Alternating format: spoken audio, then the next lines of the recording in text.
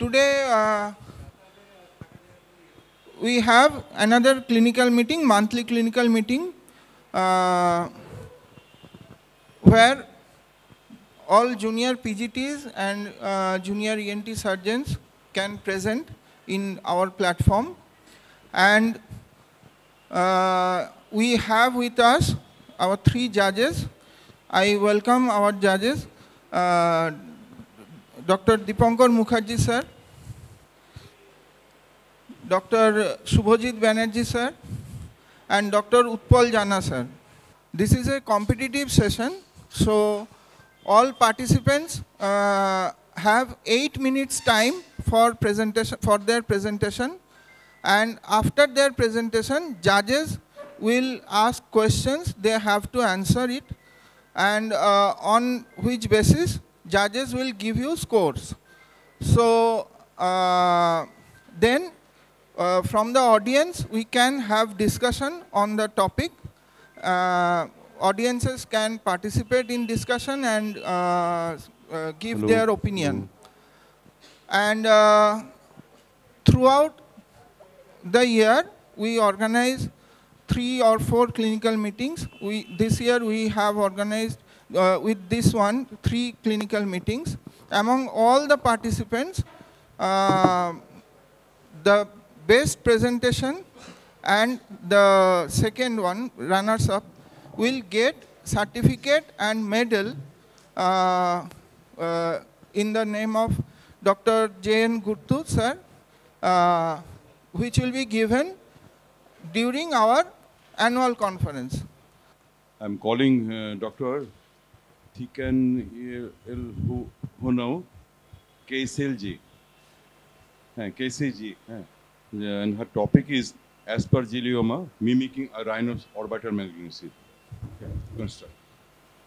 Uh, all the participants, please note that you will start after there is ring of one bell and we will uh, give another bell at the uh, at 30 seconds before uh, the time uh, at 7 minutes 30 seconds time and the final bell will be given at 8 minutes time so try to finish your presentation within 8 minutes You please start. Uh, good afternoon, respected faculty, seniors, and everyone present here today. I will be doing a case report on aspergilloma mimicking a rhino-orbital malignancy. So the patient is a 56-year-old postmenopausal woman who is a homemaker with no history of comorbidities. She came to the OPD with complaints of progressive right-sided nasal obstruction for the past six months associated with progressive decreased sense of smell, right-sided cheek swelling for the past three months, right-sided diffuse toothache for the past two months, and right-sided nasal discharge with occasional blood stains for the past two months. Uh, on examination, the patient was found to be pale, but she had no signs of icterus, cyanosis, clubbing, and lymphadenopathy. On local regional examination, there was a loss of the right nasolabial fold, but the nasal architecture was within normal limits. On anterior rhinoscopy, a fleshy vascular mass occupying the right nasal cavity was seen, which was insensitive on touch and uh, bled on probing. Uh, on posterior rhinoscopy, the mass was seen in the posterior part of the nasal cavity. Uh, on eye examination, the eye movements were not restricted. Visual acuity was 6 by 6 and there was no change in the color vision. Uh, bilateral tympanic membrane was intact and oral cavity, no abnormality was detected. No palatal bulge or palatal palsy was seen and no loosening of teeth. Um, a diagnostic nasal endoscopy was planned, and on DNE, there was a mass seen occupying the right nasal cavity, uh, which was fleshy and it bled on touch. However, the left nasal cavity was within normal limits in all the three passes. On investigation, firstly, a blood investigation was done, which showed a complete hemogram of, uh, showed a hemoglobin of 8.3. The blood sugars were all within normal limits, and the patient was seronegative. Uh, radiological investigation. Since our diagnosis was veering towards malignancy, a contrast enhanced CT scan and an MRI were done. On the contrast enhanced CT scan, you can see a hy- hyperdense mass uh, occupying the right nasal cavity and the right uh, ethmoids, uh, also the right maxillary sinus. There was a breach in the floor of the orbit and invasion of the um, extraocular muscles, particularly the inferior rectus. So in T1 weighted uh, MRI, there was a hyper intense uh, heterogeneous mass um, enhancing, enhancing mass occupying the right maxillary sinus, right nasal cavity, and here you can see the mass uh, uh extending up to the posterior part of the nasal cavity as well with the invasion of the uh, floor of the orbit.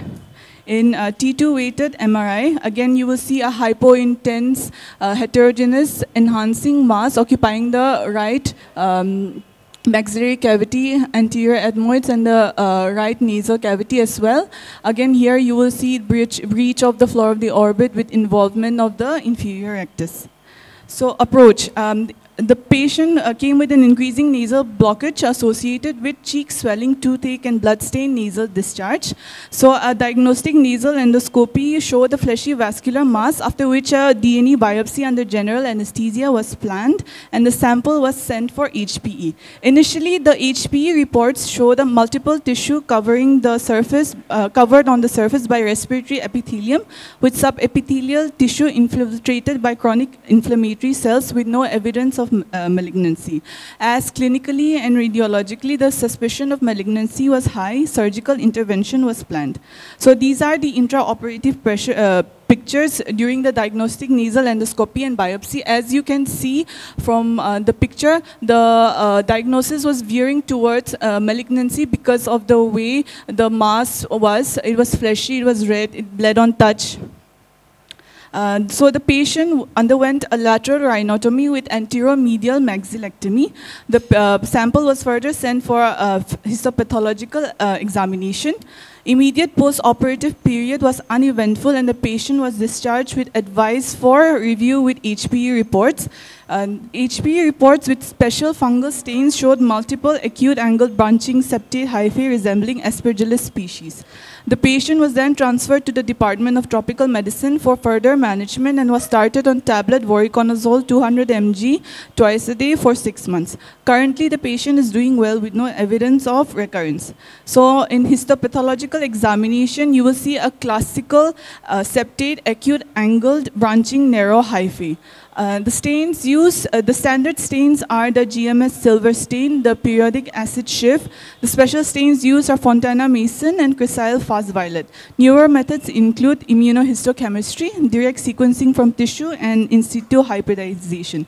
So post-operative status, the post-operatively, the patient has minimal scarring, and on post-operative diagnostic nasal endoscopy, the, it showed no signs of recurrence. Uh, discussion, a search on PubMed on sinonasal and orbital aspergillomas showed only 31 results from the year 1991 to 2020, out of which only 10 cases of rhino-orbital aspergilloma were seen, and out of which only two presented as a pseudo-neoplastic uh, tumor.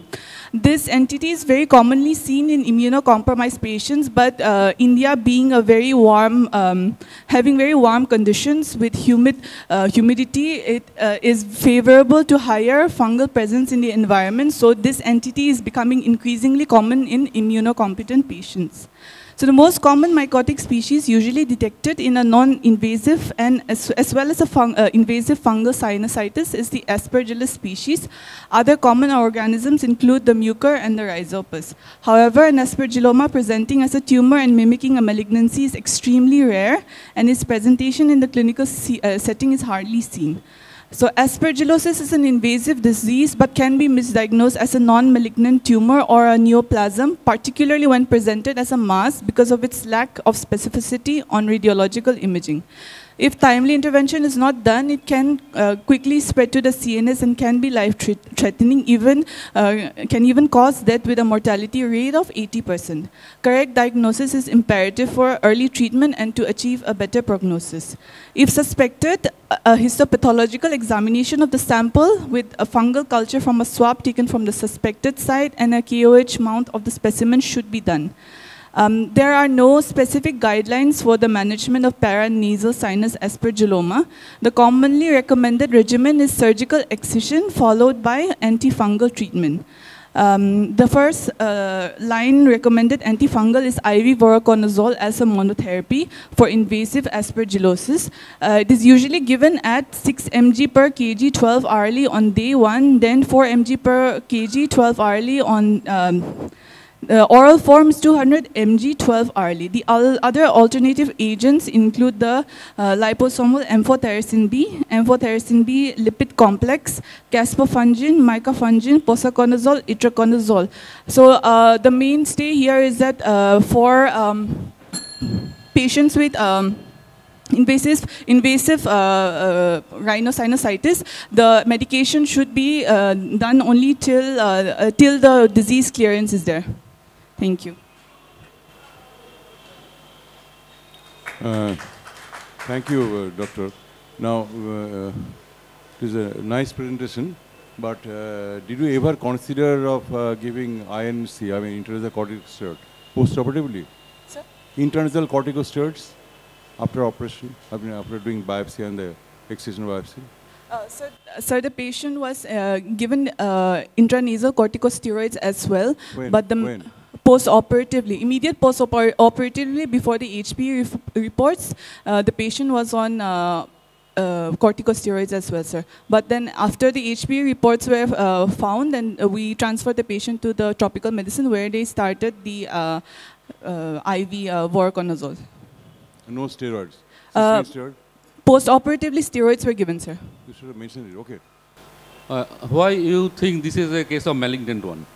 Uh, what are the features that uh, suspect you that is a malignant one? So the uh, most common, uh, the features, firstly, clinical presentation. The patient came with a presentation of uh, increasing nasal blockage, then nasal discharge associated with blood-stained These are discharge. the- not, the, not the findings to suspect a malignancy. Uh, on findings in the case, suspect you were malignant one. Uh, in radiological findings, sir, the most common was that it was a heterogeneous uh, hyperintense mass, which had a, a lot of bony erosions as well. So that was veering towards uh, What malignancy. type of malignancy do you think? Uh, the most common could be a no, in this case, what type of malignancy you think? could be a, uh squamous cell carcinoma. Squamous cell carcinoma. So why there is a hyperintense uh, imaging? Sir? Hyperintense resu- in, uh, imaging. Uh, usually, in the case of uh, any fungal uh, disease, uh, there will be a hypointense with a rim of hyperintense intensity, uh, uh, which show the uh, which shows a mucosal inflammation. But uh, That is a very nice paper. thank you, sir. And I understand that you are actually uh, confusing malignancy by its clinical appearance, isn't it? Uh, by its clinical appearance, it was a proliferative growth, it was a bleeding mass, uh, the age was also conductive. So you're Yes, thinking sir. that it might be a malignancy. Ye- yes, sir. And uh, also, as per such uh, exuberant aspergillus infections are not common clinically, we don't see it very regularly. Yes, sir. So you took a biopsy. Yes, sir. And the biopsy did not support your clinical diagnosis No, sir. because the malignant cells are not found Yes, sir. and uh, there was uh, no uh, subepithelial infiltration of anything. Even uh, fungus you didn't get there. No, Only sir. The first, uh, the first biopsy uh, did So- not show any. So it did not support you. It was a confusion. yes, sir. It was not supporting your clinical diagnosis. Yes, sir. Uh, you did some imaging Yes, sir. and imaging the all the imaging that you have done, the CT and the MRI T1 and T2, again did not support your clinical diagnosis. Yes, sir. So did you have any further imaging which could have uh, at least tell you that uh, it's, it's inflammatory, it's not malignancy? In, in the same line that uh, radiological investigation, imaging. Have you, have you heard of DWI, sequence in MRI scan? Yes, sir.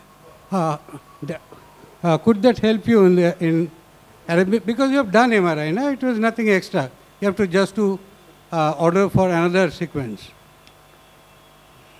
Uh, yes, sir. It would have helped uh, further with our investigation, but then in the clinical, in our clinical setting, we do not have that option. And since the patient could not afford, so we just stuck to T1 and T2 weighted diffusion MRIs. Okay, and secondly, you had done an external rhinotomy, uh, sorry, lateral rhinotomy and medial maxillectomy and removal of the mass. Yes, sir. But nowadays, all these cases, we prefer to go by endoscopic excision. The same thing without a lateral rhinotomy. But what was uh, uh, your uh, logic for going for an external approach in this case? Why didn't you prefer endoscopic excision? So the external approach was uh, done because uh, the, firstly it was very extensive and then uh, there was a uh, erosion of the floor of the orbit as well. So um, Okay. Okay, thank you. It's a very nice presentation. And, and lastly, I will just request you, how do you pronounce your name? We couldn't pronounce your name. uh, my, my name is pronounced as uh, Techa, sir. Techa. Okay, Techa. It's a nice name. Thank you, Thank sir. you. Any, any comment from the audience? That was a very nice presentation.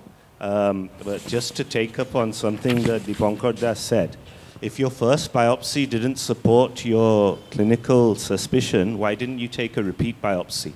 Why did you straight away go for what is actually definitive surgical management without actually knowing what it was?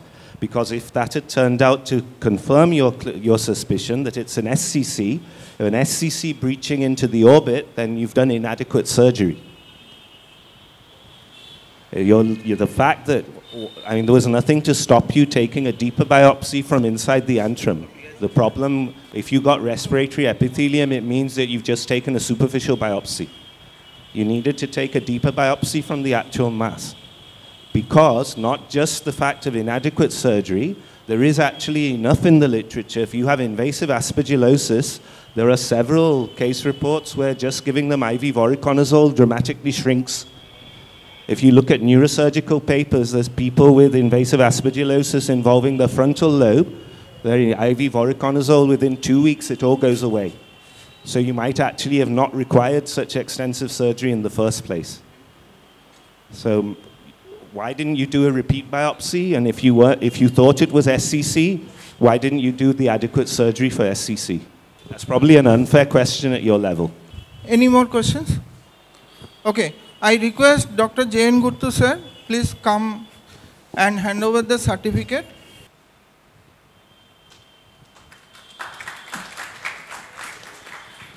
Thank you. So our next participant is Dr. Kattayani. Her, present, uh, her topic is case of recurrent branchial sinus type 2. Good afternoon, everyone. I'm Dr. Katyani from Command Hospital. Uh, today I'm going to uh, discuss a case of uh, recurrent first branchial sinus. Uh, my patient is a 13-year-old girl who was brought by her mother with chief complaints of swelling over the left side of neck from 11 and a half years and swelling over the uh, behind the left ear from three months. On taking detailed history, uh, the mother gave history of uh, the child developing swelling over the left lateral aspect of the neck since the age of one and a half year and spontaneously ruptured with purulent discharge. She was taken to a nearby hospital where she underwent incision and drainage at the age of two years and thereafter she was asymptomatic for eight months. Subsequently, over next three years, she had recurrent episodes of swelling and discharge, and she was managed with wide bore aspiration and oral antibiotics. In 2018, she was evaluated by an ENT surgeon, and she was diagnosed as a case of uh, infected branchial sinus. Thereby, she underwent sinus tract excision, but later on, she uh, remained to be symptomatic till the uh, time she presented to us. On examination, there was a swelling of one and a half centimeter by one centimeter over the left post-auricular region, which had purulent discharge coming from it, and there was a discharging sinus on the left side, left lateral aspect of the neck, around two centimeter below the angle of the mandible. Based on the uh, history and the clinical examination, we came to a provisional diagnosis of uh, recurrent branchial sinus and to support and uh, confirm the diagnosis, we uh, subjected the patient to contrast enhanced uh, magnetic resonance imaging. Also to look for the uh, presence of the tract and the extent of the tract. These are the MRI images. The first one is the T2, weighted, uh, T2 diffusion weighted image where we can see a hypointense lesion in the post-auricular region.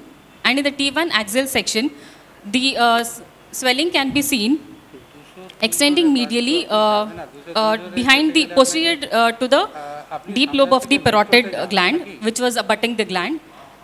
And on T1 image, we could see the extent of the sinus tract, which was extending uh, on the lateral aspect of the neck, opening up to the surface of the skin.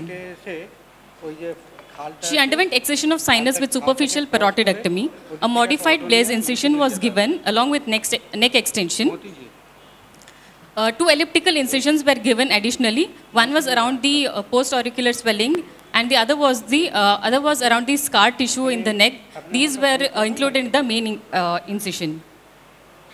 The facial nerve was identified by convergence technique uh, by, with the help of uh, tragal pointer, digastric, uh, uh, posterior belly of the digastric muscle, the tympanomastoid suture, and all the branches were delineated. The sinus tract was found extending deep to the facial nerve, and superiorly it was reaching up to the external auditory canal, which was cartilaginous part, and the upper part was uh, cystic. The sinus tract was ex- uh, excised in toto with uh, some of the parotid tissue around it. The specimen was sent for histopathological examination. On histopathological examination, the specimen had uh, uh, stratified uh, squamous epithelium as its lining, and cartilaginous tissue was also seen. And few of the uh, superficial, uh, su- a few of uh, minor salivary glands were also seen. This gave a confirmation of sinus, uh, branchial sinus. Postoperatively, the patient developed grade 3 facial nerve paresis and 8 weeks postoperatively, uh, it was completely recovered. So branchial apparatus consists of branchial arch, pharyngeal pouches, branchial grooves and branchial membranes. These uh, tissue are transient and they develop in the early fourth week of gestation and they and they disappear by the end of the seventh week of gestation. They contribute greatly to the formation of the head and neck uh, tissues. Uh, as a result of incomplete fusion of the ventral portion of the first and the second branchial arch, we uh, find branchial anomalies. These account for about 30% of all the head and neck uh, congenital lesions, and their presentations are wide in uh, nature and misleading, and it was uh, difficult for diagnosis. The first branchial cleft anomalies are rarer and account about only 8% of the cases. A branchial sinus has an external uh, or internal opening and may or may not have any cyst connecting to it. It was uh, classified by uh, Work et al. in uh, 1972 as type 1 and type 2. Type 1 uh, anomalies have ectod- uh, this is a histological classification. Type 1 has only ectodermal components and type 2 has ectodermal and mesodermal components. In 2022, uh, uh, various cases were studied by A.R. D'Souza et, et al. and he gave a classification of the sinus tract based on its relation to the facial nerve. They can be either lying superior to the facial nerve, deep to it, or in between the facial nerve branches. So when we have a case presenting to us and we have a suspicion of branchial sinus, uh, the evaluation should include MRI imaging, which will aid in our diagnosis and the planning of our surgery. Initial surgery is crucial because uh, the recurrent, uh, recurrent rate after the incomplete excision is as high as 22%, but after per primum surgery, it is only about 3%. Recurrent surgeries lead to scar tissue formation, which will be difficult in our subsequent surgeries as the tract lies in, deep, uh, in relation to the facial nerve branches and with the parotid gland. So the correct diagnosis and surgical management depend on thorough understanding of the embryology and anatomy of the sinus and its relation to the parotid gland and facial nerve. A high index of suspicion for branchial cleft sinus should be there if one finds any perioral or neck discharge sinus in pediatric cases. These are my references. Uh, how can you uh, minimize uh, the chance of recurrences in your case, actually? And uh, yeah, just, So uh, by uh, doing imaging, that is contrast enhanced MRI imaging, we can find the tract. Then uh, during which will help uh, the delineation of the tract during a surgery. The uh, tract has to be removed in toto, and uh, if possible, the surrounding tissue if there's any inflammation, so that uh, there is no uh, tract left behind. uh, did you give uh, give some dye like that? So in our case, uh, we did, Did you not give? What we did not that? use any dye, sir. You didn't use. We did not use in our case, sir.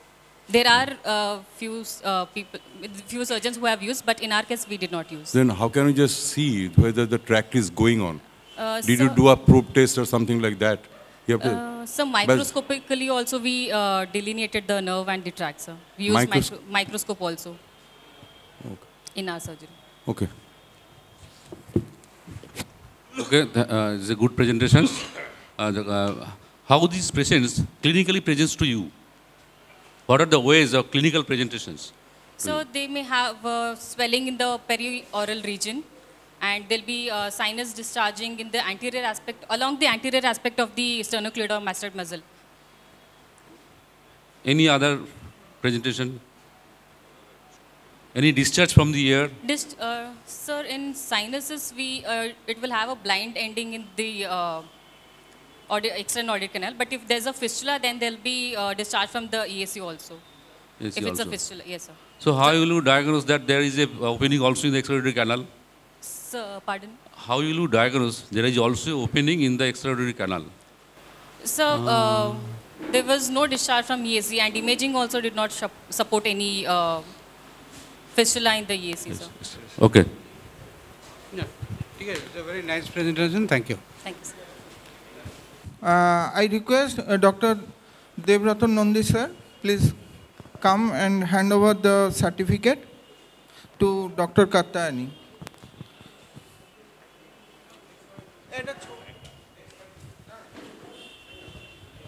And I request uh, audience to uh, comment on his uh, her topic. Just a minute, wait, wait for a minute. Uh, যদি কারোর কিছু questions থাকে suggestions not questions if any suggestions there, uh, any comment from the audience? Actually, differential diagnosis in a fistula in this region, we should think of tuberculosis also. Because the tuberculosis gland suppuration and uh, continuous with that may be misleading. So sometimes it uh, uh mimics the tubercular fistula also. Our uh, next participant, Dr. Siddhalingas. Uh, his topic is sinonasal mucor with skull base involvement, challenges faced with a positive outcome. Good afternoon, all faculties and uh, PG residents. Uh, today I am going to present a case of sinonasal mucormycosis with extension to skull base. Sinonasal mucormycosis is acute invasive fungal infection by Rhizopus species. It is rare, opportunistic, and uh, potentially fatal disease. Uh, it is more commonly found in uncontrolled diabetics and immunocompromised uh, patients. Uh, it has grievous morbidity like vision loss and mortality up to 60% in case of cerebral extension. Incidence is 1.7 per, per 10 lakhs uh, per year and it is uh, most common causative organisms are Rhizopus species and other species uh, like Rhizomucor, Cunninghamella, Apo, Apophysomyces, Saksenaea, Absidia. Early diagnosis, antifungal therapy, and extensive debridement along with strict control of diabetes is utmost required to improve the prognosis. Host factors, uh, ketoreductase enzyme, diabetes ketoacidosis, rhizoferrin, and pterygopalatine are host factors uh, important play a role in the mucormycosis. Ketoreductase, uh, which allows fungus to utilize ketone bodies, thrive in acidotic and uh, high glucose environment. Diabetes ketoacidosis, it impairs chemotaxic and phagocytic activity uh, of neutrophils. Rhizoferrin, uh, it is present in fungus which binds to iron, forms rhizoferrin uh, complex. Iron is available for fungal growth. Tergopelton fossa, it is main reservoir of disease and via spinopelton uh, foramen acts as a pa- passage for disseminating infection. Pathophysiology, tendency to grow into vessels and lymphatics, formation of mucothrombi which leads to ischemia, infarction of the affected organ and spread into the orbit and adjacent uh, paranasal sinuses and even extension into the intracranially via directly vessels or uh, direct extension. Some article shows most commonly involved cranial nerves in mucormycosis are second followed by fifth cranial nerve branches. Involvement of cranial nerve 7th and uh, uh, 12th nerve is very rare and its pathogenesis is not well understood. This case is of rare occurrence in literature and our case provides one such example. And involvement of cranial nerve 3rd, 4th and 6th also uncommon. It is due to cavernous sinus thrombosis. Skull base and intracranial extension. Involvement of the cranial nerves signifying intracranial extension generally carries poor prognosis. Imaging, uh, however, allows early identification of cranial nerve involvement and exact delineation of the spread of infection. CT scan shows membrane or periosteal thickening and bony disruption. Foci of hyperdensity in the affected sinus, highly suggestive of fungal disease. MRI has important role when extension into the skull base, brain, orbit, cranial nerves involvement. Usually, sinonasal mucormycosis presents with back uh, necrotic HR tissue on nasal endoscopy and uh, purulent exudates. Uh, on MRI, black turbinate sign is the pathognomonic sign of sinonasal mucormycosis. Coming to our case, 53 years female, case of vitiligo and newly diagnosed diabetes mellitus, presented with bilateral nasal discharge, depression of dorsum of nose and deviation of angle of mouth for 15 days only. History of a painful history of painful non-healing ulcer size of 0.5 into 0.5 centimeter in hard palate, insidious in onset, progressive, not associated with bleeding. On examination, eye is normal, extraocular muscle, full and free movement. On examination of nose, dorsum of nose uh, uh, collapsed and uh, palpable right level uh, second and palpable right second lymph node level and uh, there was uh, facial nerve palsy of uh, House-Brackmann grade uh, 7, left uh, facial nerve palsy and right hypoglossal nerve palsy. On diagnostic nasal endoscopy, bony and cartilaginous septum eroded, large septal perforation with crust was present, uh, polypoidal tissue in middle meatus, ethmoids with necrotic tissue in sphenoid, sphenoid, bilateral ethmoid and nasopharyngeal wall. On examination of ear, uh, we were found uh, left OME was present because uh, mass extending into the nasopharyngeal uh, uh, nasopharynx and obstructing the left eustachian tube. And on examination of cranial nerve, all cranial nerves are normal except 7 and uh, 12 cranial nerve. Uh, left facial palsy was there and uh, right hypoglossal nerve uh, palsy was there. We had worked for CECT base of skull to T4 in which peripherally enhancing collection seen in left um, ITF and uh, pterygopalatine fossa, heterogeneously enhancing soft tissue in bilateral maxillary sinus, erosion of posterolateral wall of maxillary sinus was found. Uh, in CECT, right, pa right paraclival region involving hypoglossal with encasement of right hypoglossal uh, nerve was uh, present. We had done C CMRI brain in T2 weighted image, altered signal intensity, bilateral maxillary sinus, right frontal sinus and anterior and posterior uh, ethmoid and sphenoid sinuses are involved. Patchy restriction of diffusion in left maxillary sinus and infratemporal fossa. Especially we had done diffusion weighted image uh, which shows hyperintensity seen in left maxillary sinus in restriction of diffusion. We had in diagnostic dilemma uh, uh, a granulomatous disease versus mucormycosis.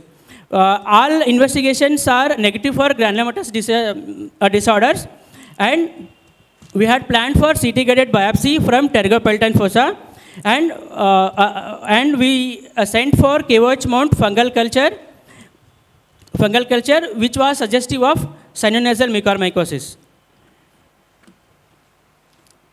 We had done uh, surgical and medical management both. Uh, she had underwent endoscopic transnasal, transmaxillary, transpterygoid debridement under GA and all necrotic tissues of the palate, maxilla and pterygopalatine fossa, infratemporal fossa were debrided. medical management done with uh, liposomal, uh, liposomal amphotericin B, uh, which was cumulative dose 4050 milligram. On, histoph- on, hist- on histopathology, angioinvasion was present and aseptate mucormycosis was uh, present. At post of 10, early involvement and combined uh, surgical approach will help in outcome and uh, House-Brackmann grade facial palsy uh, converted into uh, 6 to a second and improvement in hypoglossal nerve. Uh, our case is different from other cases because because very it, it is very unusual case with extensive skull base involvement presenting with uh, multiple bilateral cranial nerve uh, uh, uh, palsies as a first presentation of diabetes mellitus in a previously uh, he- previously healthy patient usually uh, sinonasal mucormycosis involvement in ipsilateral which is more common in Garcin syndrome and secondary to intracranial abscess and skull base osteomyelitis thank you sir Thank you, Dr. Siddhalingas. We uh, have seen lot of uh, mucor cases in the, I mean, later phase of COVID uh, couple of years back. And there was a guideline also later on, uh, published by, I mean, government of West Bengal. So before doing surgery, just jumping to surgery, do you consider giving any medical treatment? And after completion of surgery, do you again think giving some medical management? Or just do surgery and leave the patient alone? This is one question, okay? And another one is, how do optic nerve actually gets entangled? I mean, cranial nerve 2, okay, in this mucor case, in Sir, your case. i- sir, initially we had started antibiotic also. After that, uh, we were in diagnostic dilemma, uh, granulomatous disease versus uh, sinonasal mucormycosis. And then, uh, uh, based on clinical findings and uh, images, we went for a CT-guided uh, biopsy from a pterygopalatine fossa. Based on this, uh, we had diagnosed and uh, approached the patient. Uh, did you take any COVID history? COVID, his, COVID history? Co- No, sir, there is no COVID-19 history, sir. This is newly diagnosed diabetes mellitus. Uh, Oh, there was no COVID. Hence, this is a rare case and it is uh, different from other sinonasal And mucormycosis. how long did you give that uh, medical management after surgery? Sir, after surgery, sir, uh, total uh, 30 days we have given. Uh, How uh, long? Sir, How long? total accumulative dose was 4050 milligrams. Uh, was there any recurrence of this thing? No, sir, there is no Or- recurrence, sir. After uh, 10 weeks of uh, a surgery, uh, on uh, diagnostic, uh, on a nasal endoscopy, uh, it was clear, sir, there is no residual disease. Uh, and improvement in facial nerve palsy and right hypoglossal nerve. uh, How then palsy. optic nerve is involved in your case? No, sir, there is no optic nerve in, involved. In these aspects also, this is uh, rare and uh, different from other sinonasal mucormycosis patients. Sir. Suppose optic nerve is involved. What is the result? Sir, it is poor prognosis, sir. When optic nerve involvement is there, it is poor prognosis, sir. Uh, okay. Okay, it's a very nice presentation. The one question is that uh, how can we explain the facial nerve paralysis in this particular case? Why there is facial paralysis in this case? Sir, involvement of uh, skull base, uh, which but from your CT on an MRI, there is uh, facial nerve is not involved. But sir, uh, some literatures, matlab, uh, no, not literatures. Sir. You have to explain why there is facial nerve paralysis in your case. But there is no involvement of facial nerve in uh, uh, images, sir. But uh, clinically, we were found that. So how can you explain it? This is the question. Okay, how you will clinically suspect that these patients may have mucormycosis? What is the most important clinical findings? Sir, on clinical examination, sir, on nasal endoscopy, a crusting uh, u- uh, usually present and uh, what type of crusting? That is more, much more important. uh, black black uh, crusting present and uh, there will be uh, inferior turbinate usually involved in uh, this type of crusting, sir. Okay, thank you. So it's a, a very nice case and you have presented very nicely also. So it's just a basic question. that mucormycosis is a dreadful disease. Sir. So what is the management of muco sinonasal mucormycosis? Sir, uh, it is based on uh, patient's finding and patient's uh, condition, sir. No, the basic principles. Uh, amphotericin B, sir, lysosomal amphotericin B. Uh, uh, sorry? Lysosomal amphotericin B and surgical management. Wh- Which one is more important? You have to do both, or you can just do it by amphotericin B, or you can just uh, do surgical management and don't give antifungal. Sir, surgical management is required after debriding, after removing of necrotic tissues. Uh, it will be helpful for penetration of the amphotericin B and it will uh, give good results, sir, comparatively uh, only medical management. Actually, uh, the mechanism of tissue destruction in mucor is embolization of the feeding vessels, arteries. yes, so if you give amphotericin B and do not debride the tissue, it, will never reach there. So both is very important. You debride. It's not a surgical management. You debride the necrotic tissue, make that area more vascular so that your amphotericin B reaches there. So it is amphotericin B that does the trick, and debridement is to uh, make this amphotericin B to reach at the site. This is very important. Right? Thank you. Uh, so,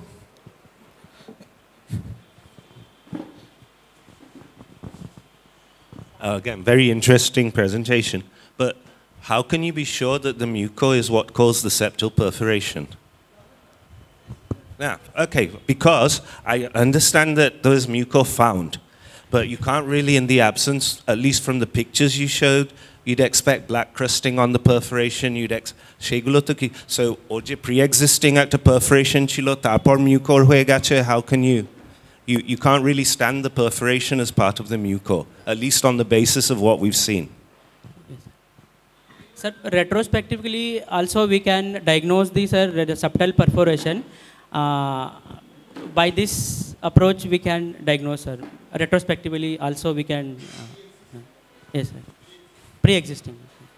I think one thing can be suspected because mucormycosis essentially affects the microvessels first to occlude it, probably the vasa involvement of a uh, distant area, probably that is the reason which can cause a, uh, hypoxic damage to the nerve and that that may be one explanation, I'm not sure.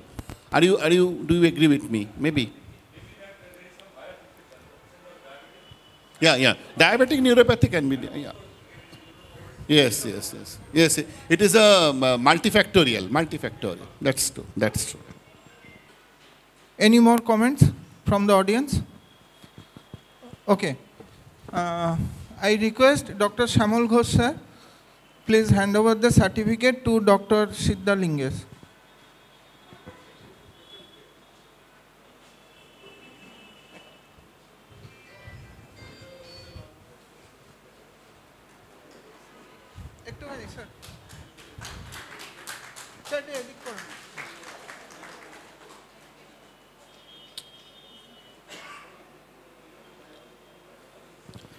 Thank you sir our next participant our next participant doctor Rituparna Mukherjee doctor Rituparna Mukherjee good afternoon everyone my topic is infraauricular swelling in a case of microtia surgical challenges are case was a five year old male child who presented with a swelling in the infraauricular region left side It was insidious in onset and gradually progressive in nature. It was not associated with any pain and also the patient had left-sided microtia. Locoregional examination showed 2 into 3 centimeter swelling in the left infraauricular area, left parotid region. The swelling was oval shaped, well defined with regular margins, firm, non tender, mobile, with no fixity to underlying structures or to skin. The ear examination, the right ear pinna was normal, left ear showed pinna with grade 3 microtia. The external auditory canal of the right sided ear was within normal limits and the left ear external auditory canal was atretic. Tympanic membrane of the right ear was intact and in the left ear it could not be visualized. Investigation. We did a USG of the left infraauricular region. It showed a hypoechoic space occupying lesion 2.84 into 1.26 centimeter with regular margin just beneath the skin. FNSE was suggestive of dermoid cyst. OAE was done. Left ear was referred with peak at 50 decibel hearing loss, suggestive of mild hearing loss.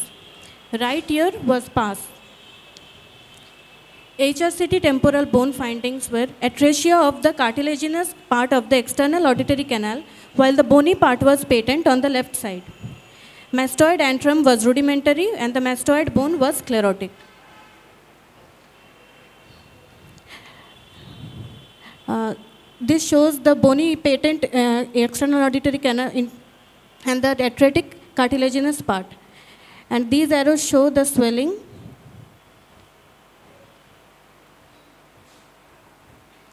MRI of the parotid region with neck showed a thin-walled cystic lesion measuring 27 into 16 millimeter in the left parotid region, just beneath the skin. There was deep extension into the left carotid space. The T2 weighted images of the MRI show a hyper hyperechoic uh, thin cystic walled lesion just, just below the skin. This image is of a T1 weighted image with a hypoechoic lesion. The operative procedure that was planned was for excision of the cystic swelling. A curvilinear incision was made after, mark, after uh, uh, noting the mastoid tip and the uh, mandible angle of the mandible. The curvilinear incision was made. Superior and inferior flaps were raised. Identification of the sternocleidomastoid muscle on the left side and the posterior belly of the digastric muscle were done. Facial nerve was identified all of a sudden immediately deep to the lesion in relation to the posterior belly of the digastric muscle. The swelling situated was just above the main trunk of the facial nerve and was dissected carefully using bipolar cautery, minimizing the use of monopolar cautery to prevent injury to the nerve by heat dissipation. Hemostasis was secured and wound was closed in layers.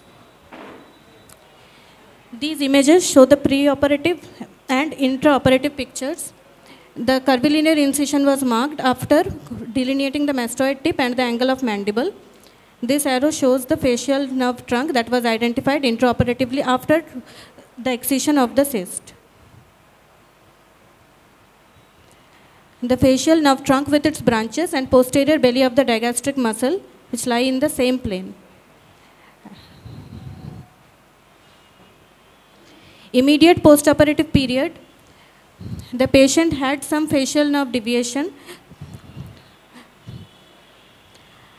Postoperative period after one week, uh, the patient, uh, the facial nerve deviation had significantly recovered. The histopathology report showed to be an infected epidermal cyst with giant cell reaction. The surgical challenges faced in this case were every parotid surgery is a challenge and also in this case due to the absence of the landmarks that is the tragal pointer and the rudimentary mastoid tip and the facial nerve lies superficially in children in comparison to adults.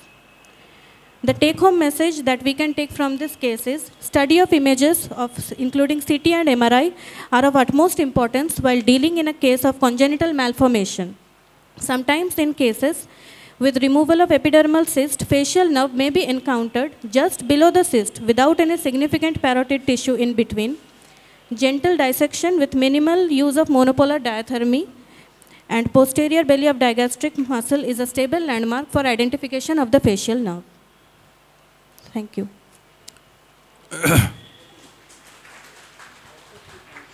Uh, thank you, Dr. Rituparna. But uh, as you have just, uh, you have a word of microtia in your topic, Yes, so I will just stick to microtia. Yes, And sir. In which trimester do we get fetus, I mean, uh, affected? In what trimester their ears are affected of Uh, pregnancy? Sir, There are three trimesters. Yes, sir. First, second, and third. Okay. So we get development begins around five weeks of gestation, uh, and in the Okay, first trimester, done. Uh, what may be the cause, mostly? So, I mean, maternal cause. Gestational diabetics can be a cause. Uh, pre-gestational diabetics, uh, or it can be associated with other syndromes such as Down syndrome or Treacher Collins syndromes. Whose? Mother's, No, the child's. child. Uh, have you ever considered hypoxia of the mother during pregnancy, early pregnancy? So that may be a cause, and only some genetic cause, number one. Uh, can you name uh, any other syndromes which may have some, uh, I mean, external ear deformity?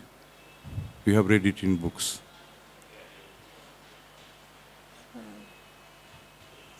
Treacher Collins Treacher Collins. and Goldenhar. Down syndrome. Goldenhar. Gold. It was in the last uh, clinical meeting. One presented with Goldenhar's, I think. Number two. Did you ever consider of doing this microtia thing while you were operating this thing? what Uh, was the age of the patient? Five-year-old, sir. Five year. What is the actual, I mean, the age while surgeons consider doing a microtia? Sir, normally microtia we uh, think of correcting at the school-going age. Uh, Specific. It's Uh, 8 to six 10. years. 8 to Uh, 10. 8 to 10. But there are instances where you can do it in third year of their life. Huh? Some surgeons may prefer. Okay. What was the, uh, was there any canal atresia? Yes, sir. Cartilaginous part was atretic.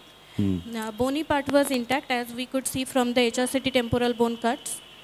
Uh, middle ear uh, structures uh, were found to be the malleus and incus were uh, conglomerated structures and no significant uh, dehiscence of the facial uh, bony canal was found.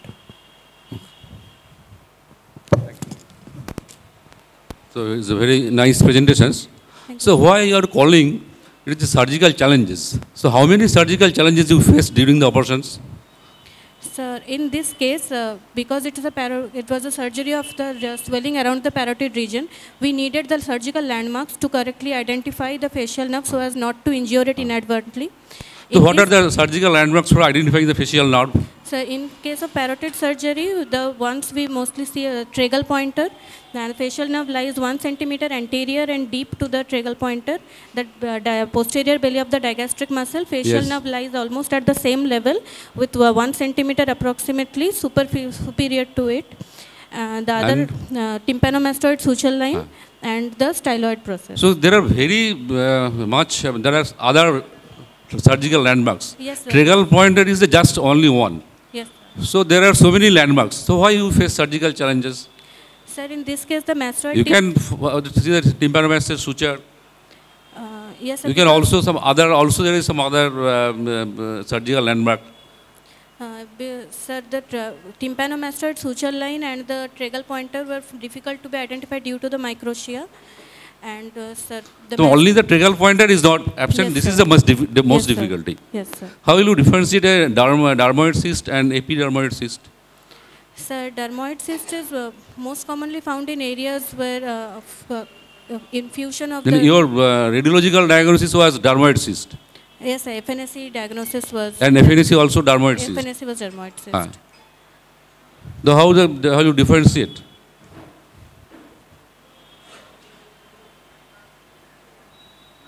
Which one is more difficult to operate? Is it the epidermoid or dermoid cyst? Uh, dermoid cyst. Why? In this particular cyst, and if it is truly dermoid cyst, it may be more challenging. So dermoid cyst may have contents of uh, all the three embryological layers.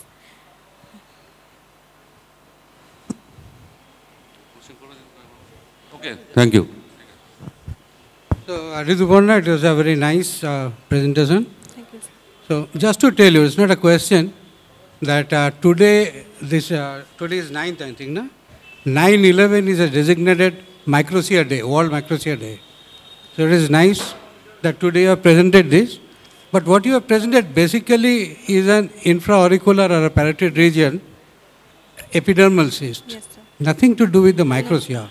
But do you think there can be a relation between this microtia and this epidermal cyst? Can you, can you put forward a logic? Because your topic is that, no? And, and, and that logic is correct in your case. Just think it. how this epidermal cyst can develop there when there is a microtia. Yeah, you have read the development of the pinna. Yes, sir. So how it develops? Sir, it develops from the first and second branchial arches uh, by the six hillocks of His. Uh, fusion of the hillocks of His result in formation of the pinna. Uh, failure in, uh, in the fusion of any part may lead to any uh, developmental anomaly of the pinna. Yeah, there may be a gap and through which, actually the way we get the preauricular sinuses, Yes, we sir. get an epithelial tract there, and if this epithelial tract gets separated from it and gets embedded in this, uh, in the skin, beneath the skin, it will give rise to an epidermal cyst, isn't it? So they are related. Okay. So your top, name of the topic is correct. Thank you. Thank you, sir.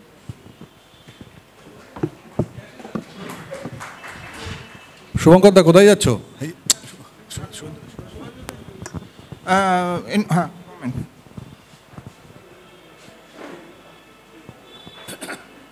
It's a good presentation, but I have got very fundamental questions.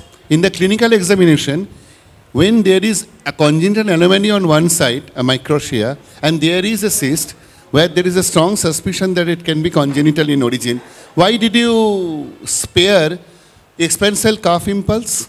You did not do that test. You should have done. It can have intracranial connection, isn't it? A thing can be there if you are suspecting a, uh cyst, a congenital cyst. Number two, what was the uh, audiometry finding? OAE test was done for the patient. Left-sided was refer at peak at 50 decibel hearing loss. And the right side was pass. But bone conduction audiometry can be done na, in this case because Yes, the sir. mastoid bone is intact there. Yes, sir. Number three, and the terminal, uh, the diagnosis, epidermoid cyst, proves that probably you have missed the punctum. That can also be there. Yes, sir. Because epidermoid cyst is usually, it contains a punctum because it's a, uh collection cyst where the mouth is blocked, isn't it? Yes, I sir. think these small points should be taken into consideration. Did you consider using a facial nerve monitor in this case?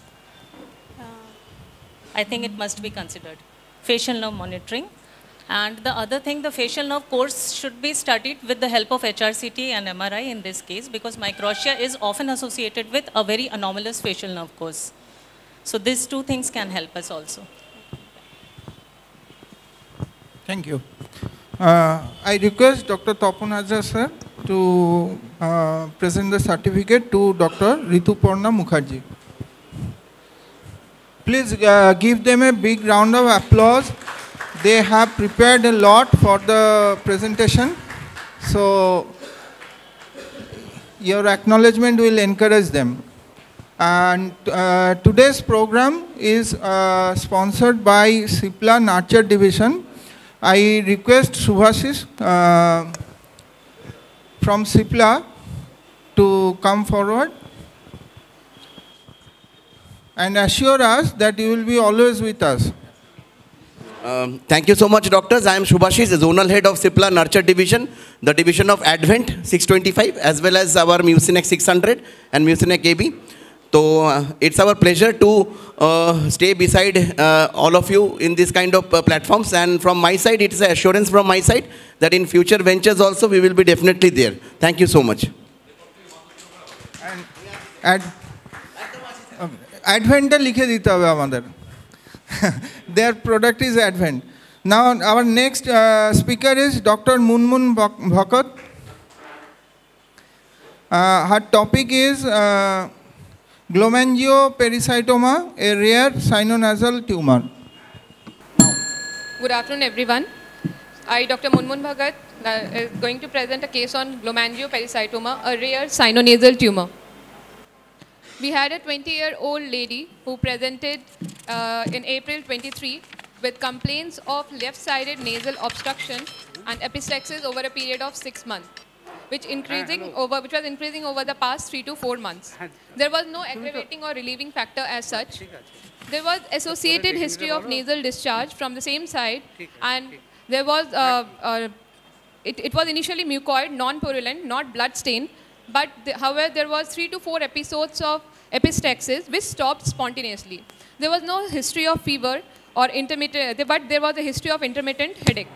There was nothing suggestive of bleeding disorder.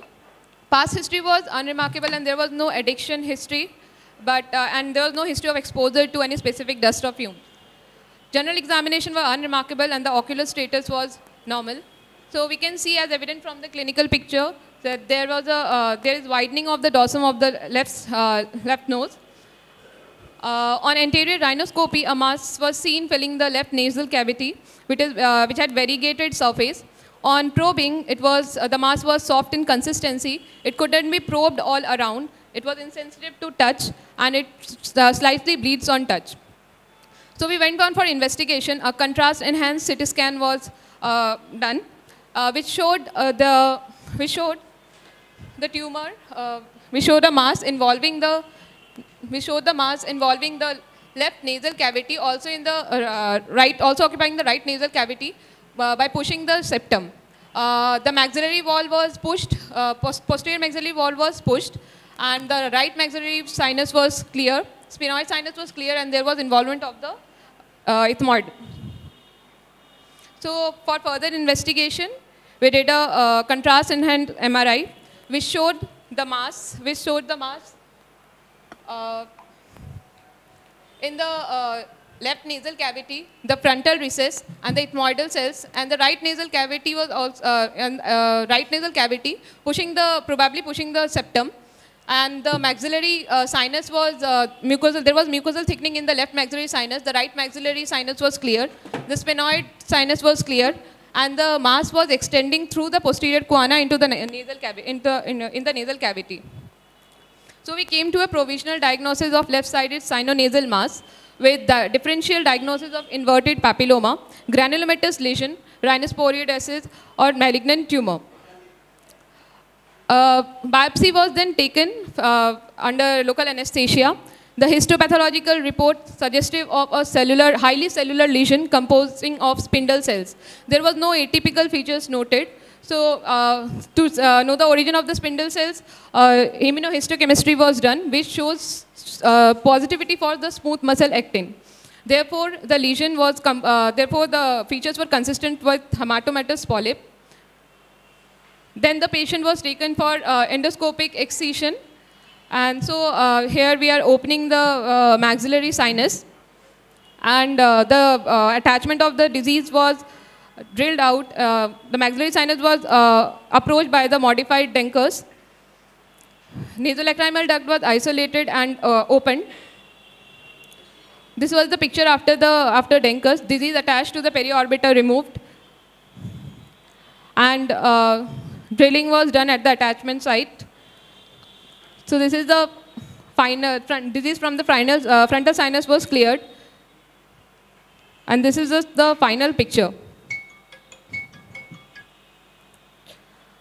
So uh, the final histopathological report, it was consistent with the biopsy report, which shows the uh, which shows the lesion composed of spindle cells, and there was a uh, uh there was fair number of vessels, uh, which consistent with the finding of hemangiopericytomatous pattern. There was no evidence of atypia seen. It was further confirmed by the immunohistochemistry. As we can see in the slide, there were spindle cells. And uh, the, it was further confirmed by immunohistochemistry, which were positive for smooth muscle actin, negative for CD34 and desmin and S100. So the final diagnosis came out to be sinonasal glomangiopericytoma. The patient uh, was reviewed in tumor board, and the, as per the opinion of the tumor board, uh, there was uh, complete uh, there was complete excision of the uh, tumor uh, tumor. So the, they advised, as per their advice, the patient was on regular follow-up using nasal endoscopy and MRI. Nasal endoscopy was performed on the third six third week, sixth week, and the third month. MRI obtained on the sixth month post-operatively. So this is the follow-up uh, follow-up uh, nasal endoscopy of uh, in the sixth month. We can see the healthy nasal cavity with epithelialized uh, mucosal linings and uh, there was no signs of clinical recurrence. The same uh, findings were mirrored in the MRI. So sinonasal type hemangiopericytoma is a rare mesenchymal tumor which arises from the pericytes surrounding the capillaries. It has borderline to low malignant potential. Its incidence is less than 0.5% of all the neoplasms of the sinonasal cavity. It was first reported in 1942, which was originally classified as hemangiopericytoma. It is noted to occur in the nose and the paranasal sinuses in 5% of the hemangiopericytomatous uh, cases. It was described as hemangiopericytoma like intranasal submucosal tumor in 1976. There was a controversy regarding its definition, so later the World Health Organization classified it as glomangiopericytoma as a distinct entity in 2005 because of its similarity with glomus neoplasms. It occurs at age, most, uh, any age, but uh, uh, mostly seen in 6 to 7 decade with female preponderance. But in our case, it was a atypical presentation. Glomangiopericytoma is generally localized to the nasal cavity and sinuses, but the skull base extension is uncommon. Among the paranasal sinuses, ethmoid sinus and sphenoidal sinus are more commonly involved. The clinical presentations are epistaxis followed by obstruction, nasal obstruction and headache. Our patient had all these symptoms. Etiology is unknown and the differential diagnosis of a submucosal tumor includes solitary fibrous tumor, lobular capillary hemangioma, nasopharyngeal hemangioma, angiofibroma and glomus tumor. The definitive diagnosis is achieved by tissue sampling after complete resection and immunohistochemistry is mandatory. It has an excellent prognosis with complete surgical excision and the post-operative management should include the long-term surveillance, nasal endoscopy or CT or MRI at regular intervals considering the local recurrence rate to, uh, of 17 to 40 percent. So therefore I can conclude uh, glomangiopericytoma is an extremely rare and indolent tumor. It has a benign course with low malignant potential.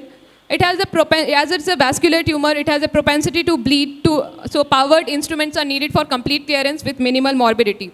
It should be considered in differential diagnosis of a spindle cell sinonasal mass with characteristics of, uh, uh, if, the, if there is characteristic of spindle cell in the biopsy. It should be reconfirmed by immunohistochemistry and the surveillance is by nasal endoscopy uh, and CT or MRI. These are my references. Huh? Thank you, Dr. Bhakot. Uh, it was a good presentation. Uh, it was a submucosal tumor, you, you told. Can you name some mucosal tumors of nose? Sir, inverted papilloma and uh, mm, submucosal tumor in... Uh, do this mucosal and submucosal have some significance regarding prognosis? Uh, sir? Regarding prognosis, is there any difference? I mean, mucosal tumor and submucosal tumors, mostly.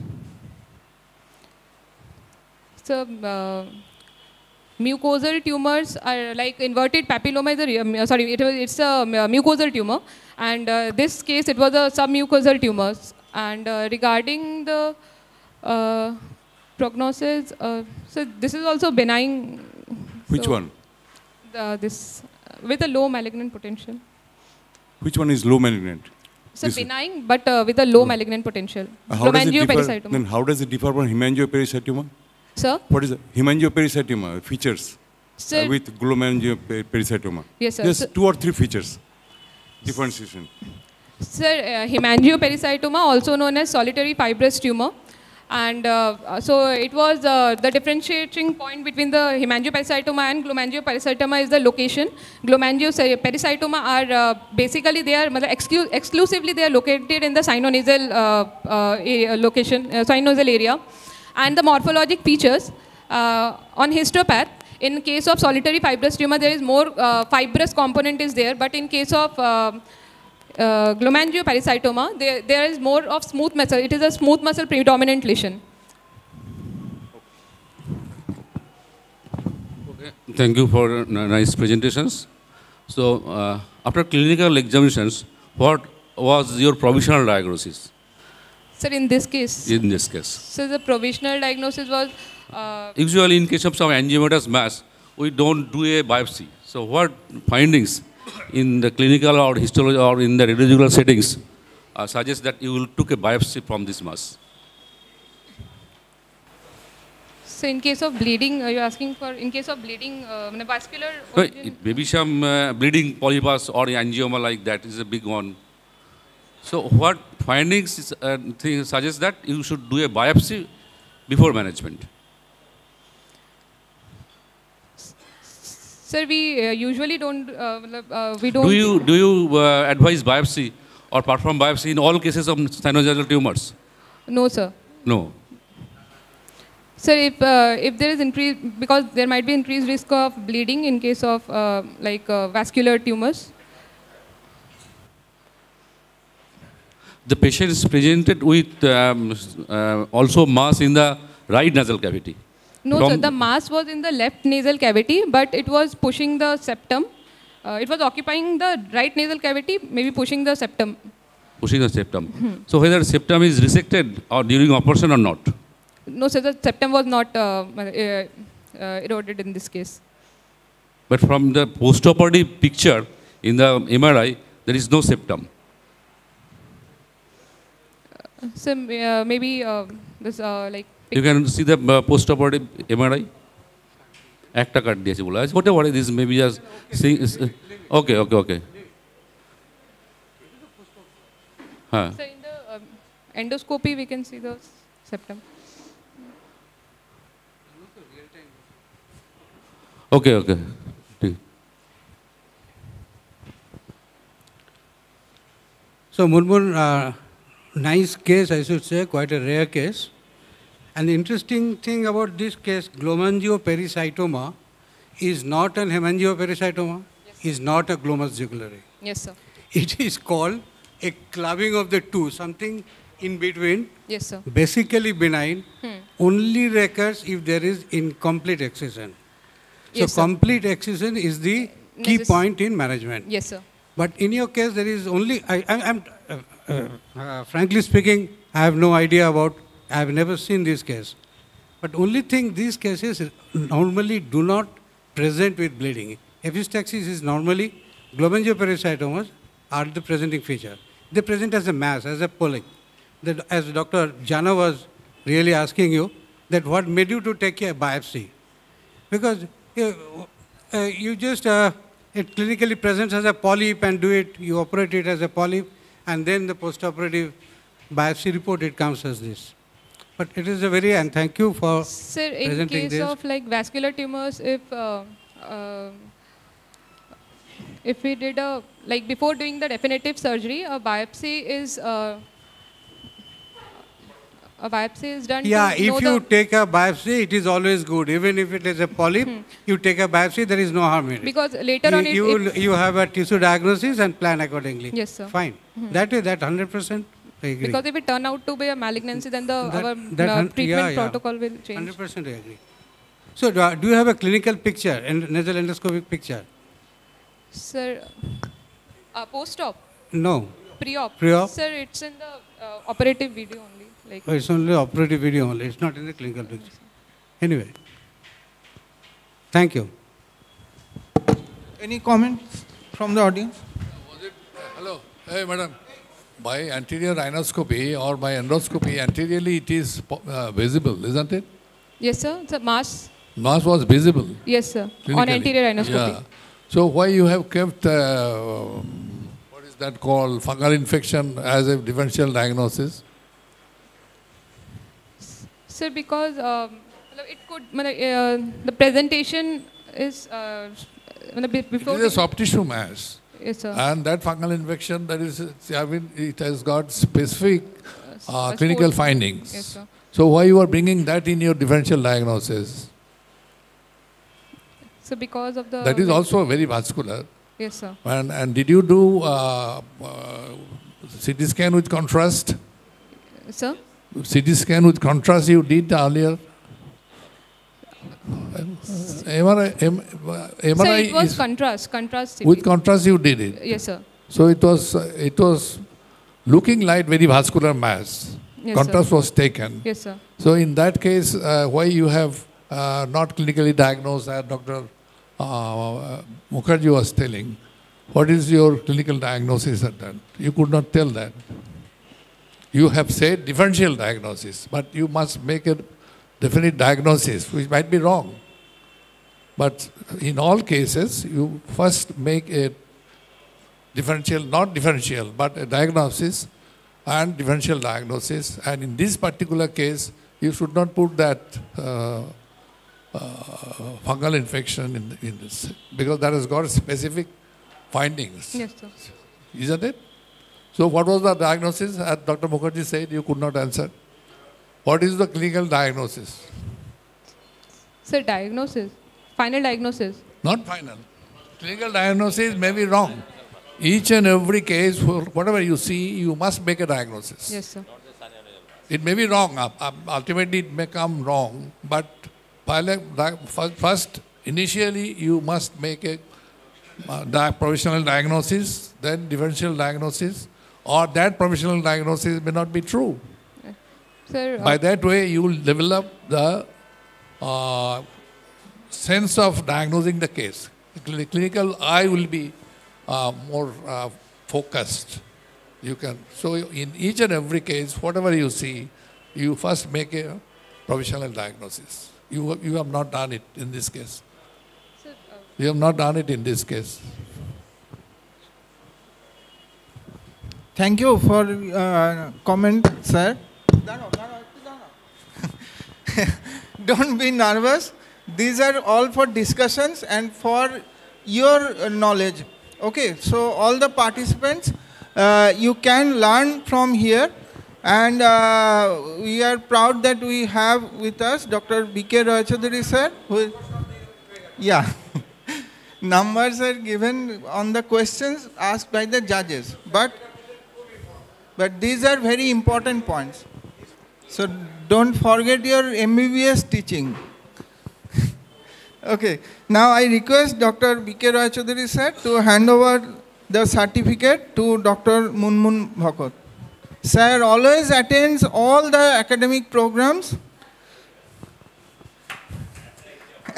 at the age of 88. 86. So our last uh, participant, Dr. Saurav Haldar. His topic is post-aural flap, a less morbid and effective option in head neck reconstruction. Acha, um, there is another announcement. We have already announced that uh, we will make a blazer and a badge for our members who are attending uh, AOICON at Bangalore and all interested members. Uh, and um, at, the, uh, at a subsidized rate of rupees 3000. So the rest of the amount will be paid by our association. And uh, today the tailor is here, so anyone interested can go uh, down to our office and give their measurement for the blazer with payment of rupees 3000 only. Good afternoon, all teachers and seniors. Today I am going to present my case study series of post-aural flap, which is a less morbid and effective option in head and neck reconstruction. Now, what is flap? Flap is a piece of tissue that has its own blood supply and which doesn't rely on the recipient's bed for its survival. Now, in my case study, I have used the post-aural flap. Uh, uh, based on the blood supply, it is a uh, posterior auricular artery based flap and uh, based on com- composition, it is a myocutaneous flap. Based on contiguity, it is a type of regional flap and based on uh, contour, it is a type of transposition flap. Now this picture showing the uh, area of supply by the post-auricular artery. Now these are the layers uh, which we have taken during the uh, uh, during the post-aural flap and from superficial to tip the layers are skin, subcutaneous tissue, fat, then the superficial temporal fossa above and superficial mastoid fossa below containing the posterior auricular muscle and the posterior auricular artery. Deep to this is the innominate fascia which is continuous above with the loose areolar tissue and deep to the innominate fascia is the deep temporal fossa which covers the temporalis muscle and deep to the temporalis muscle is the pericranium. Now my first case was a 45 years old male uh, who presented to me with a 4 into 3 centimeter square of uh, mass over the right parotid region uh, which was on uh, examination, which was a irregular surface and irregular margin mass, and uh, with involvement of the overlying skin, and uh, the mass was hard in consistency. Uh, after doing the fine needle aspiration cytology, we came to a diagnosis that the mass was a mucoepidermoid carcinoma.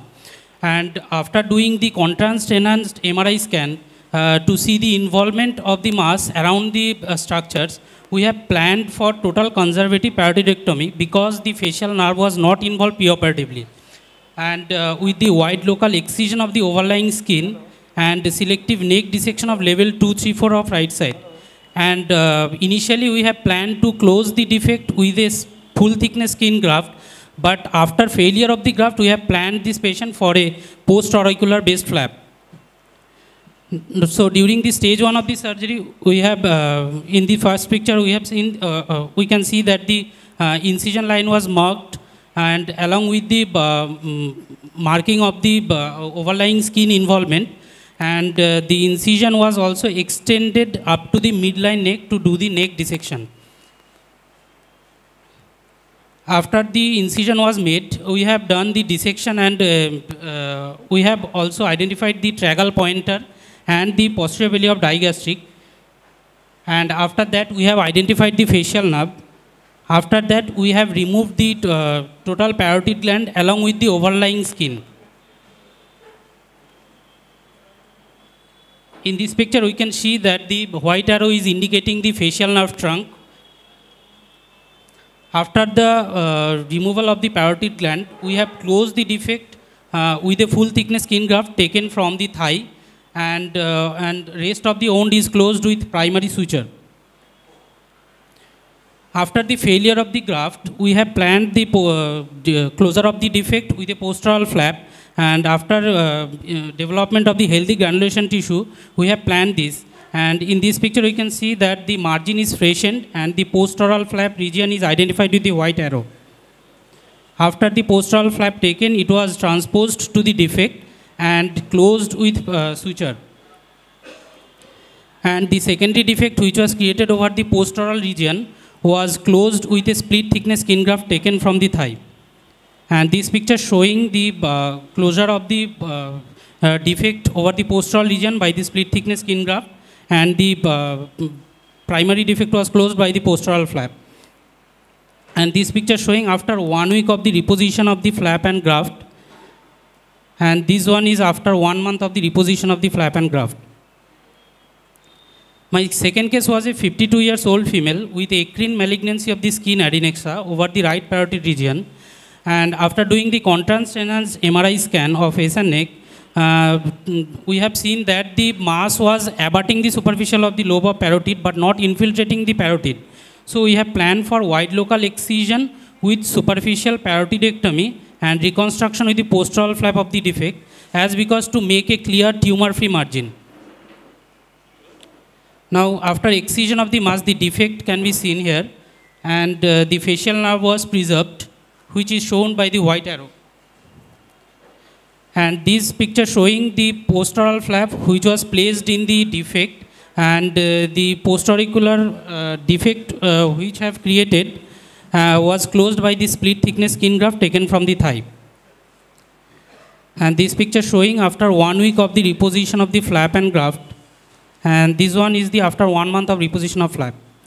So the take home message is postaural flap is a very good option for reconstruction in the head and neck surgery. It is easily accessible and it is less morbid. Thank you, sir.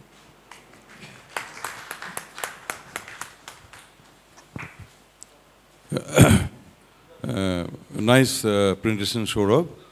Was, uh, what do you think uh, of uh, the, I mean, that uh, graft rejection occurred in your first case, this parotid one? Sir, What are the factors? Graft failure occurs most commonly due to the hematoma. So, graft failure occurs most commonly due to the hematoma in between the graft and the recipient bed. So, I think in my case was also the common cause was there. That is the hematoma formation in between the recipient uh, uh, bed and the graft. There may be other associated cause also, but in my case, there was no other associated cause like infection or any other thing. So I um, uh, I can, um, so I uh, can think that this is due to the formation of the hematoma. Uh, It was a free flap. The first one was a, was a free flap. Free. No, sir, I have used the full thickness skin graft, Skin. not flap. What are the layers of skin then? What? Full thickness? What do you mean by full thickness of skin? Full thickness, full thickness consists of the epidermis and the total dermis. What are the uh, other um, uh, reconstructive procedures where you can also use the postural flap? Uh, other options are, uh, um, beside from the postural flap, we can use the free no, flaps. it's not the postural flap. Where you, in other cases, you can also use the postural flap for reconstructions. Because this is your subject. Yes. The postural flap in headache reconstruction. Yes. So besides parodontectomy or skin involvement, when other other areas or other, other surgeries But you can also use this flap? Uh, we can use in case of any neck malignancy, like in case of thyroid malignancy or there where the defect is created, we can use there the postaural flap. In thyroid malignancy, you will use this flap?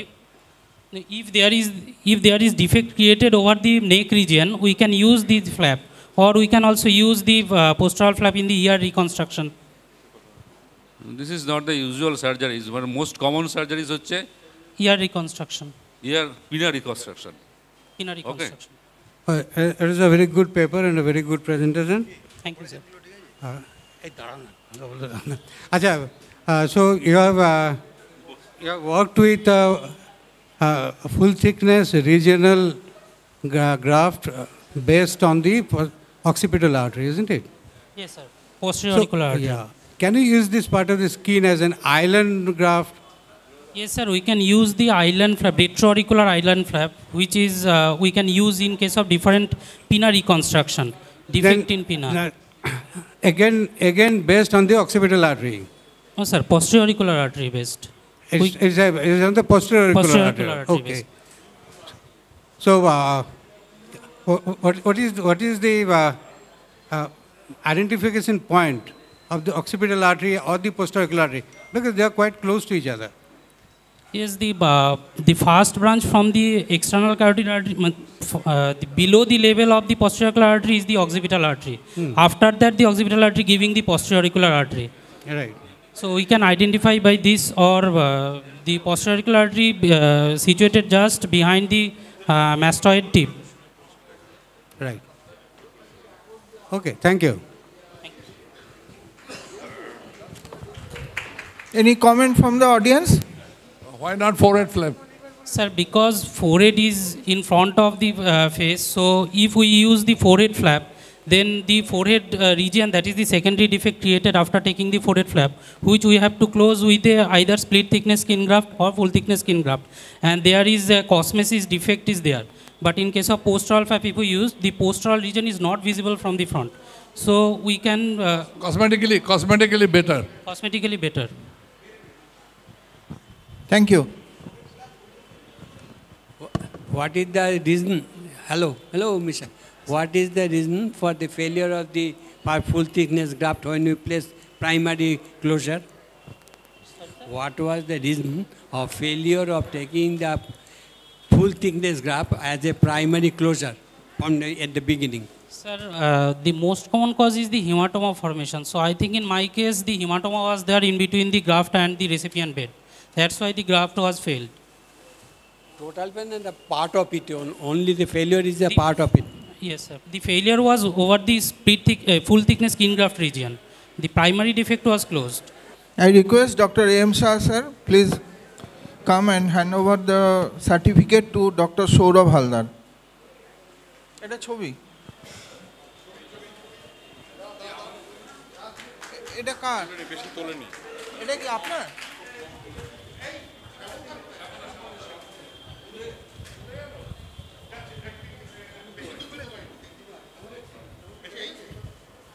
Thank you, Saurabh. Uh, thank you all uh, for attending and uh, supporting us. Our uh, next event is our annual conference. Hope everyone has received the brochure and all the notice. Uh, it will be at Stadel and uh, on 23rd and 24th of December. And I request all the teachers of the medical colleges to uh, encourage your students to participate in our all academic uh, events.